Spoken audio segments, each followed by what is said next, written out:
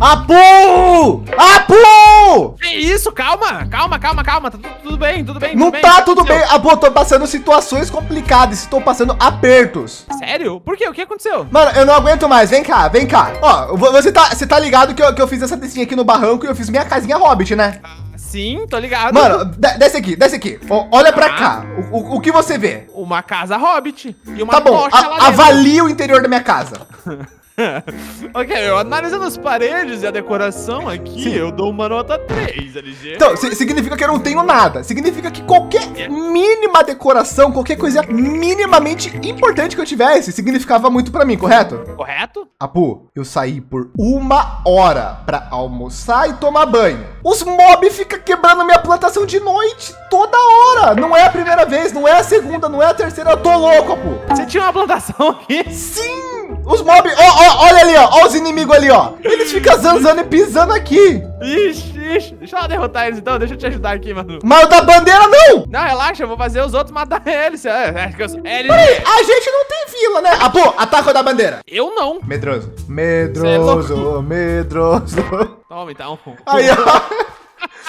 Mano, você tem alguma ideia do que a gente possa fazer pra parar de nascer tanto mob, pelo menos aqui no arredorzinho das nossas casas? Então, LG, eu acho que tem uma tocha mágica que é capaz de fazer isso, mano. Hã? Qual que é o nome? Qual que é o nome? Pera aí, deixa eu abrir o mecanismo de pesquisa gamer. Me fale o nome. Digita aí. Hã? Tocha. Tocha. Tá, temos aqui tocha do Minecraft, tocha das almas do Minecraft, tocha de redstone do Minecraft, gengibre de tocha, é uma flor do Biomes e o Gol, e tocha de pedra do Silent Girl. Qual dessas que eu faço? Má notícias, LG. Tá em inglês, digita torche. Ah, pera, em inglês, em inglês, pera, torch, aqui ó, Ingrid.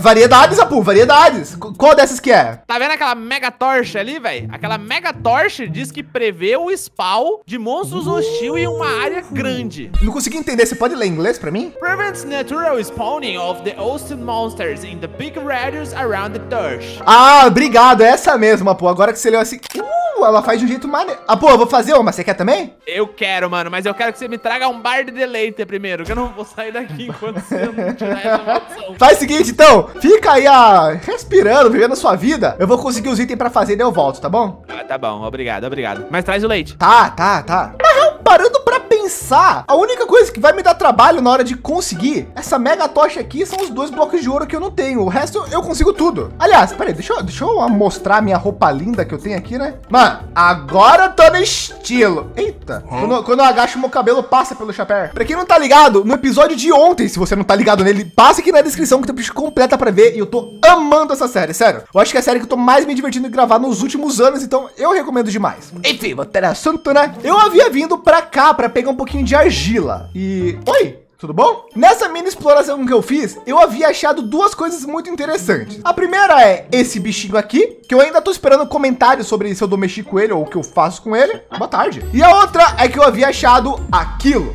Nossa, que bonito, né? Coisinha mais linda, né? E eu prometi que eu ia explorar nesse vídeo. Então vamos explorar, né? Ver o que tem ali e quem sabe conseguir os blocos de ouro. Aliás, vocês estão comentando muito, muito para eu voltar a fazer minha intro, o famoso fa. Não vou fazer não. Vocês achou, vocês, achou mesmo que eu ia fazer? Vocês achou mesmo que eu ia fazer? Se vocês quiserem que eu faça minha intro ou volte a fazer a intro, eu tenho um desafio para vocês. Se eu vou ter que fazer algo, vocês também vão ter que fazer outra coisa. Eu desafio vocês a comentarem no vídeo. Pode comentar o seu nome, sua cor favorita, o que você almoçou hoje ou o que você vai almoçar hoje. E se esse vídeo chegar a 10 mil comentários, aí eu faço a intro. E sim, pode comentar mais de uma vez. Só que agora depende de vocês. Ah, e aproveita e chama um amiguinho para comentar, né? Agora, uh, uou, bonita. Onde que é a entrada? Vamos fazer um barquinho. Vamos fazer um barquinho. Pancada de trabalho, refina a madeira e lança o barquinho. Tá, em algum local aqui deve ter uma subida ou alguma espécie de entrada. Tem que ter algum jeito, né, querendo ou não. Ó, isso aqui parece uma possível entrada, mas ao mesmo tempo não. Deixa eu olhar se não tem nenhuma escada nem nada do tipo também, né? Vixe, tem não. Ó, mas eu ganhei uma conquista por estar aqui. V- vamos fazer o seguinte, então. Vamos subir aqui no barco e do barco pular pra cá. Aí, ó, dá- dá- certo. Tá, vamos, vamos ver o que tem aqui. Nossa, que local bonito, né? Primeiramente, um baúzito com cauda de guaxinim. Ó, se eu misturar com pele de urso, dá pra fazer um boné de guaxinim, que é da hora. E o resto é tralha, não vou pegar não. Já pra esse lado temos um balde com bacalhau. É quase o balde de leite que o Apu precisa. E aqui é um Fisherman Lodge. O que é isso? Não sei. Oi, que da hora os peixes. Eita, esse peixe aqui tá meio triste, né? É, já esse outro aqui tá, tá um pouquinho magro, né? E esse aqui sempre quer fazer graça, né? Parece um palhaço. Mano, olha esse baú, que lindo. É baú de carvalho escuro, que legal. Ui, sopadinha de peixe. E macarrão de tinta de lula. Pior que eu acho que eu já comi isso na vida real. Ou não? Não sei, mas legal. Dá licença, tô entrando. Ah, essa casa aqui é bonita, hein? Tem um globo que gira. Tá. Ninguém viu nada. Ninguém viu nada. Mano, essa fornalha que bonita. Ah, é uma fornalha de ardósia. Vou levar também, sem querer. Uh, Oxi, vocês viram isso? Guardei minha picareta no vaso e perdi ela por um segundo. Tá, aparentemente tem um segundo andar. Deixa eu só dar uma olhada aqui antes. Tá, aparentemente não tem nada muito útil aqui não. Vamos ver lá em cima. Dá licença, se tiver alguém aqui, desculpa, dá licença. Tem uma besta, corrente, invisibilidade. Na real, esse lugar é meio medonho. Bom, de qualquer forma, não tinha nada muito interessante aqui. Eu tenho certeza que em algum local aqui tem algum baú secreto ou algo do tipo, mas vou deixar por agora. Oh, na real, essa tocha aqui é madeira, hein? Eu vou, vou ver como que faz ela depois. Mas bom, já tá até de dia de tanto tempo que a gente tá nessa casa aqui. Vamos para casa. Na real, a gente não pode ir para casa, eu não arrumei ouro. É, eu acho que eu vou ter que minerar então. Uh, tempo. Eu ia basicamente continuar pegando ourinho para fazer os para vocês bonitinho, mas o que é aquilo? Deixa eu até guardar minhas tralhas, que isso aqui me parece exploração. Além de ter um tipo de lobo ali e um creeper, tem também um spawner. Eu não sei se eu devo ir. Tá, pera aí. De, de, sai daqui, lobo. Sai daqui, lobisomem. Lobo, sei lá. Agora zumbi. Você vai vir, Creeper? Eu vou tentar derrotar o Creeper para depois che che chegar ali perto que eu tô com medo de ser uma armadilha. E daí, olha ali, ó, tem alguma coisa ali. Tá, pronto, vamos. Barulho, barulho. Tá, tá. Pelo barulho eu tava com medo, mas é menos perigoso do que eu achava. Calma aí. Ó, oh, bruxa, dá licença. Eu peguei diamante, bloco de osso, pão e um chapéu. Um olho de ciclope. Tá, na real, isso foi muito bom. E ó, tem mais uma aqui. Aqui e ali. Tá, acho que foi uma boa. Ouro, boa. Tem umas ferramentas que mais não vou pegar, não. O trigo eu vou. Tá, vamos ver se esse outro aqui tem mais ouro. Querendo ou não, a gente precisa de 18 ouros, iria temos 13. Uh, 14, 15, 16, 17, 18. É, na real a gente não precisa de mais nada, então vamos embora. Zoeira, hein? vocês acharam mesmo que ia deixar pra trás? Tá doido que eu ia fazer isso. Calma aí, vamos ver aqui. Uh, pera aí, deixa eu só derrotar esse mosquitão aqui. Sai! Ah, esse zumbi minerador é tão fofo, não quero ter que derrotar ele. Desculpa. Isso, dropou tralha, desculpa nada. Tá, vamos ver o que tem aqui. Ó, oh, tem umas ametistas, legal. Ou não? Né, tem bastante já. O alto forno, na real, eu vou levar. E olha a última coisa que faltava. Prontinho, agora sim a gente pode ir para casa. Mano, conseguimos tudo, hein? Conseguimos até os diamantes. Então, cheguei em casa. O Opus sumiu. Acho que daqui a pouco ele aparece. Agora eu preciso pela primeira vez ter uma, uma noite de sono de beleza na minha casa decorada. Boa, agora nós pega a mochilita, equipa bonita e vamos pegar... Vamos trazer os baús pra cá pra poder guardar nossas coisas? Isso é uma boa, né? Ô, ô, ô, ô, tu tá esquecendo de nada, não? Uh, tu não tava aí antes. Como que não? Tava aqui o tempo todo. Tá, LG. tá, tá. Eu Ó, estava aqui o tempo todo. Só você não viu. Eu não, eu não vou responder. Me tira uma dúvida. Se eu fosse fazer o chão da minha casa, que cor você acha que deveria ser? Que tipo de madeira? Mano, como você é muito do rock, eu acho que tinha que ser uma cor carinha, clarinha. Uma cor carinha? Tá bom. Toma aí seu presente. Tchau. Fecha a porta aí pra entrar bicho. Bom, orítios esquentados. Agora, dois blocos de ouro. Era o que mais mesmo? Diamante.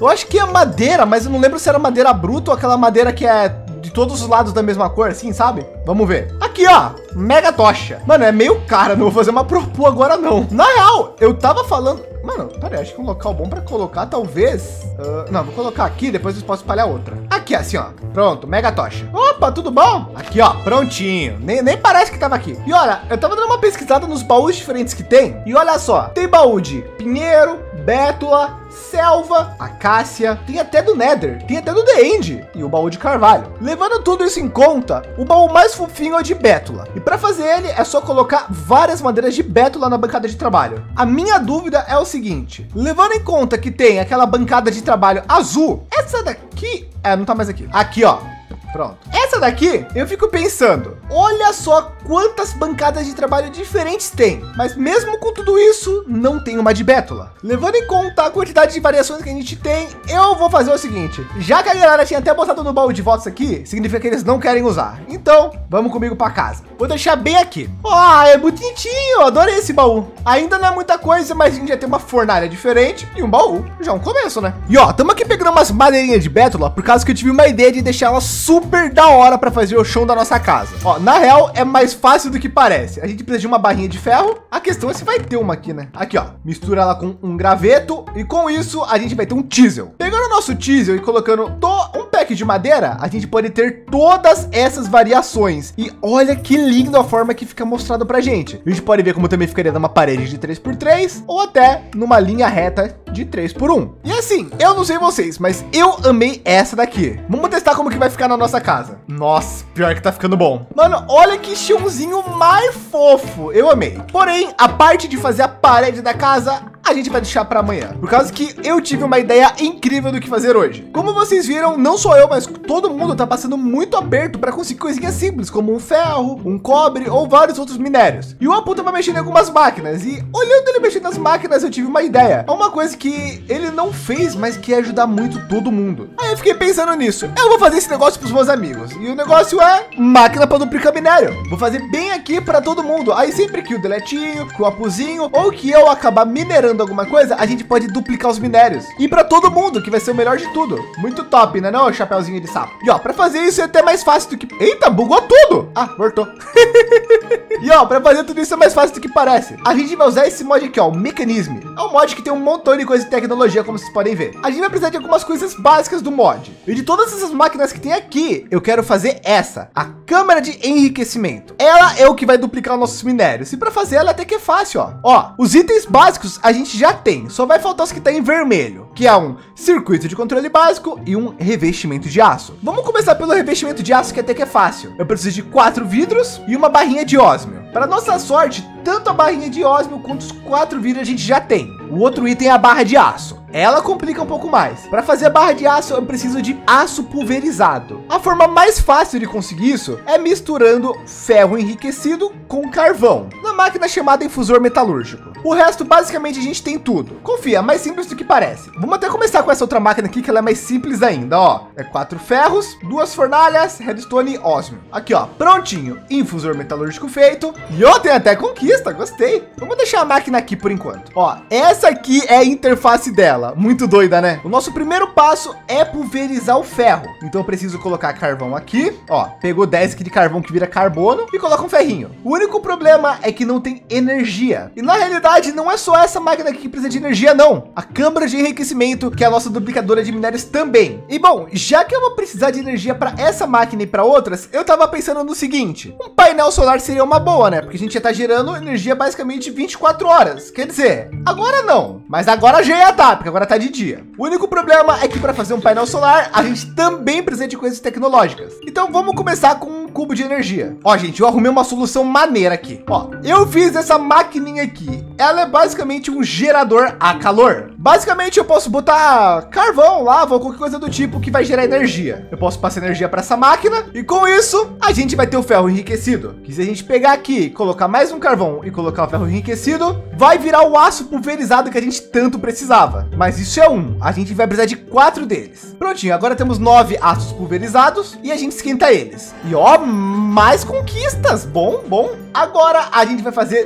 dois revestimentos de aço e mais uma conquista. E vamos fazer as duas plaquinhas verdes que a gente tinha falado antes, que é só misturar ósmio com redstone naquela máquina que a gente já estava usando antes. É facinho, ó. Pega o ósmio, esquenta, transforma em barra, pega a barrinha, coloca aqui e coloca redstone. E aqui mais carvão. Prontinho. E com isso, nós temos a câmara de enriquecimento. Essa sim é a máquina maneira. A minha ideia é a seguinte, coloque ela aqui, a câmara de enriquecimento aqui, e o infusor pode deixar aqui por enquanto. Aqui a gente põe um baú e tá pronto. Já estamos duplicando minério. Sim, fácil assim. Dá para automatizar todo o processo e deixar muito mais insano, mas deixa eu pelo menos testar agora, né? Ó, eu vou colocar três minérios de ósmio bruto. Vamos esperar a barrinha encher. E agora temos quatro pó de ósmio. que se eu colocar esses quatro pó de ósmio numa fornalha normal, que também dá para ser elétrica no futuro, simplesmente cada um desse pozinho vai virar uma barra. Então a gente meio que ainda não duplicou minério, virou três ósmio, virou quatro. Mas tem alguns minérios que funcionam assim, como por exemplo o minério de ferro. Se a gente coloca um minério de ferro, vai virar dois ferro pulverizado, que se esquentar na fornalha, vira duas barras. Então basicamente agora sim podemos duplicar minérios. Mano, fala se isso não é incrível. Agora toda minério que a gente tiver, a gente vai colocar aqui, vai esperar um pouquinho que ó, tá bom, fica, fica feliz aí ferro. Vai virar vários pozinhos de ferro, que esses